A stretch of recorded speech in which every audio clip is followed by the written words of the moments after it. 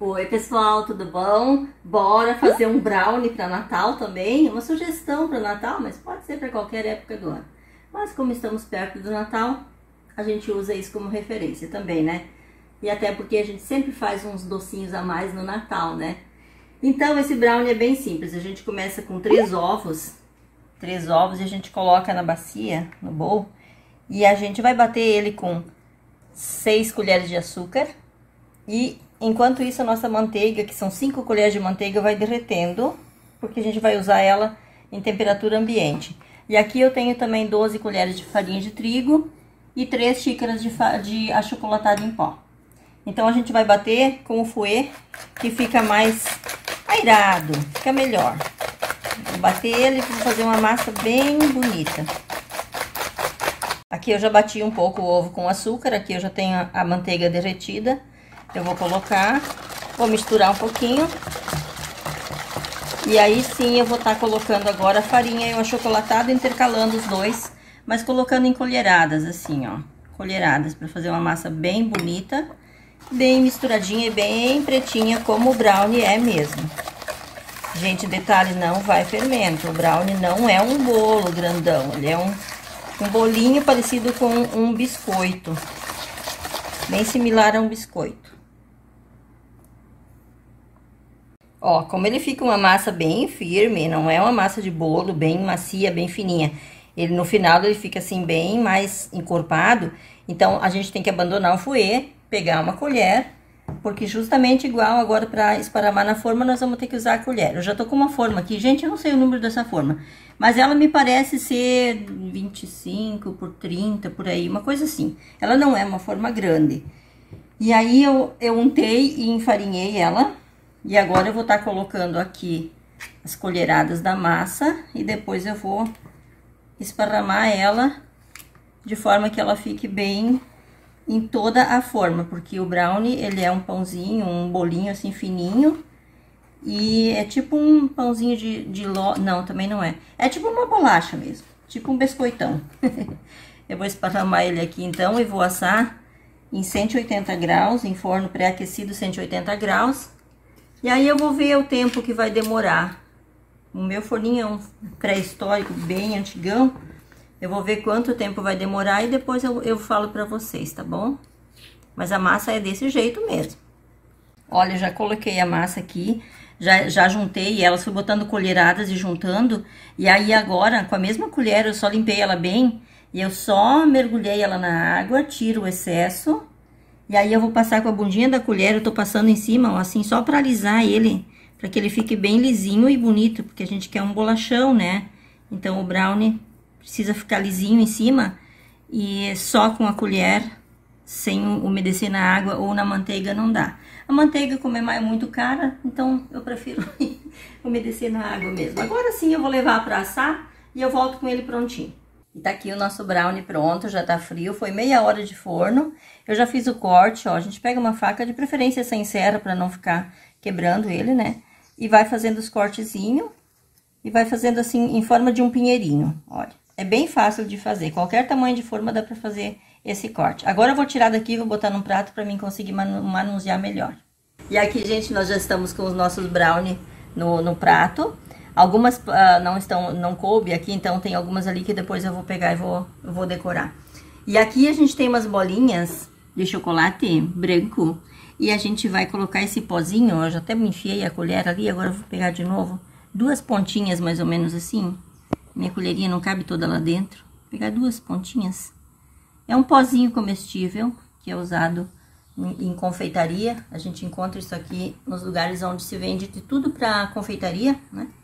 E aí a gente coloca as bolinhas ali dentro. Deixa eu botar minha colherinha ali, porque ficou a pontinha ali cheia de brilho e a gente aproveita tudo. Agora a gente fecha bem. Vamos sacudir. Uma brincadeira bonita.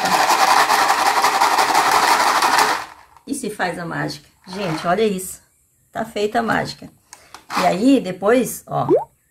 Depois, se a gente quiser manter esse pote aqui e fazer mais, né, para outras coisas, a gente deixa o brilho aqui dentro, deixa o pote fechadinho e dá para fazer mais outros tamanhos também, né? Tudo certinho. Eu já tenho uma pinça que depois eu vou usar essa pinça aqui pra colocar eles em cima, que a pinça é mais prática. Ah, vou deixar aberto. Assim, muito bem.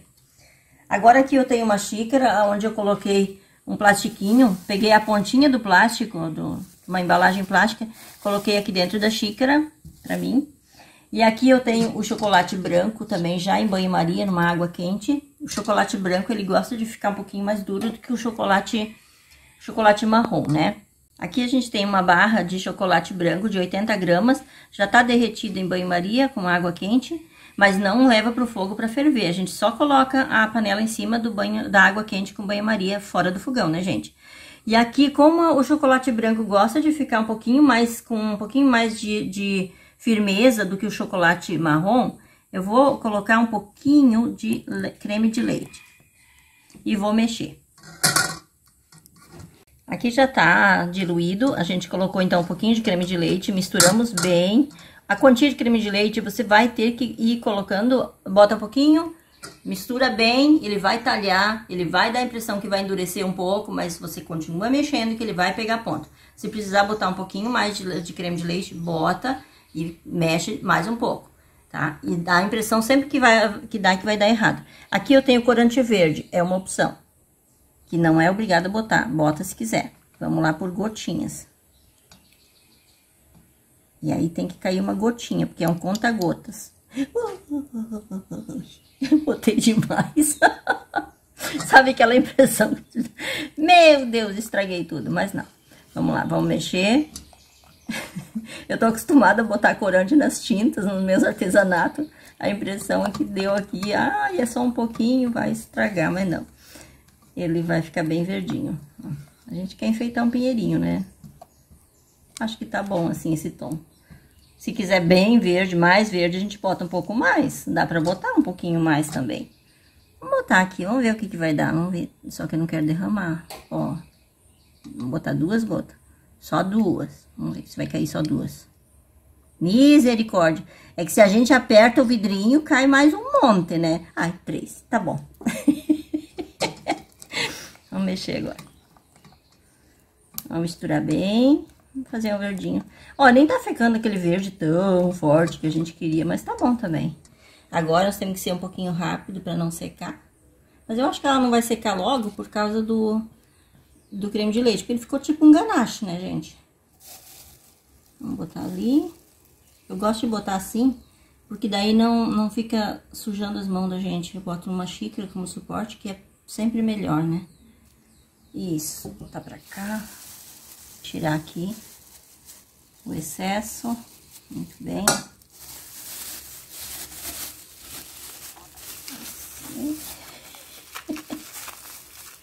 Vamos cortar um pedacinho aqui na pontinha.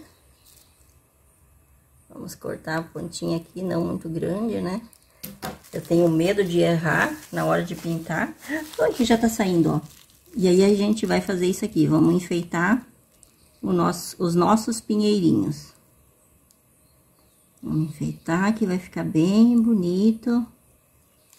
Ai, amei. Vamos pro outro. Ali eu já não fiz bem bonito. Bora lá. Eu vou fazer em todos eles, vou gastar toda essa massinha. Esse ganache. E aí, depois eu venho com as bolinhas. Ele não vai secar logo, porque ele é um ganache, né? Ó, já tá tudo pronto. Eu até já comecei a botar as bolinhas aqui. Às vezes a gente esquece que tá gravando e começa a se antecipar e fazer as coisas, né? Então, agora a gente vem com a pinça e pega as bolinhas e vai colocando assim, grudando elas. Olha que coisa mais linda que vai ficar. Gente do céu, eu vou botar em todas elas as bolinhas e vou mostrar pra vocês. Ah, a barra de chocolate deu bem certinho, sobrou uma miserinha aqui, ó. Deixa eu mostrar aqui, ó. Sobrou uma miserinha, ó. Só isso que sobrou. Então, dá bem certinho. E a quantidade de creme de leite, você vai vendo ali, você vai colocando pra pegar o ponto. Só não deixa, não bota demais, tá? Por isso que eu digo, bota devagarinho o creme de leite pra dar bem certinho. Então, eu vou enfeitar todas elas pra mostrar depois como fica lindo. E tá finalizado o nosso trabalho. Olha que coisa mais linda que fica. Olha que apresentação que fica pra gente ter no dia de Natal ou levar na ceia quando a gente é convidado, né? É muito, não é tão simples de fazer porque é um trabalho mais delicado, mas fica muito bonita a apresentação. Todo, é, acredito assim que quase todas as pessoas vão gostar. Quem gosta de chocolate, né, vai gostar. Crianças, então nem se fala. E a apresentação do prato também é muito importante.